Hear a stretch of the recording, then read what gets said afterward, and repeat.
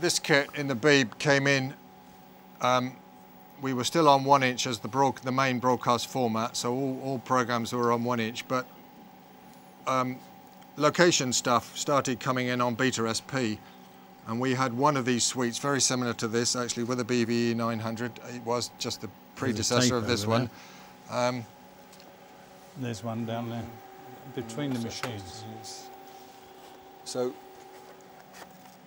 this is Beta SP. So we've gone we've gone from this to this in about 12 or 13 years, um, which is fairly typical for the industry, an exponential um, arrival of technology.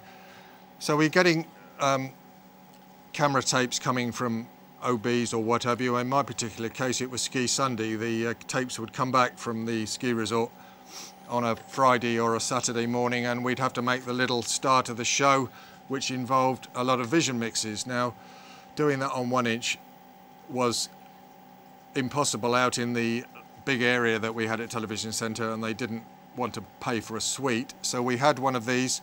So we had one one tape with all the bits on it. So we wanted to mix to the other one. So we had to copy off make copies of every alternate shot to another beta tape two beta players, one beta recorder, just like we have here. Point out what a beta machine is. This is a, this is a, which is the recorder? Nothing, I'm not taping it, is it? So this is a Betacam SP.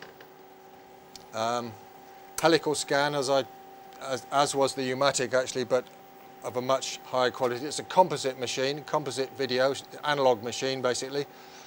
Uh, first brought out by Sony in 80, around 80 mid 80s, uh, yeah, mid 80s. Um, the first time BBC post-production used one in real anger was at the Calgary Olympics in 88.